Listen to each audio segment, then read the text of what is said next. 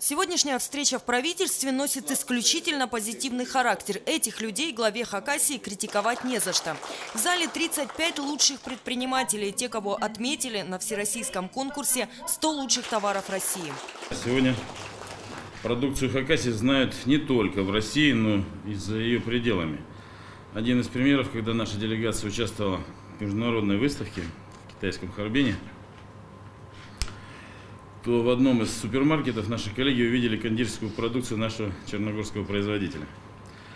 Ну, это очень приятно. В числе бизнесменов, победивших кризис, представители всех сфер. Сразу несколько дипломов получают строители. В их числе компания «Сибстройтрейд» за действительно доступное жилье. Это бюджетное жилье, то есть недорогое, то, что как раз на что мы ориентировались. 15 тысяч рублей за квадратный метр реально заехать и жить. Увидеть, как работают полезные европейские идеи на хакасской земле сегодня можно уже и в реальности. Например, вот этот дом построен по немецкой технологии, его возвели всего за один день. На месте дом собрали как конструкторы, все детали, вплоть до шурупов, изготовили на заводе в Абакане. У нас пока не доделано, у нас будет вот здесь две спальни. Вот здесь спальня будет и здесь. Мы просто счастливы жить в этом доме. Приспосабливаться предпринимателям приходится не только под жесткие законы экономики. Сегодня они в одном городе. Архитекторы не позволят строить здания, как получится, тем более, если проект стратегический. Такой, как РТПЦ. Это здание для ведомства, которое отвечает за передачу телевизионного и радиосигнала в Хакасии. Над его дизайном работали лучшие специалисты граждан проекта. С учетом сегодняшнего вот такого стремительного развития телевидения, конечно, это потребность времени была. Но с другой стороны, мы еще решали вопрос такой, чтобы это все-таки было здание такое красивое, чтобы оно вообще украшало город.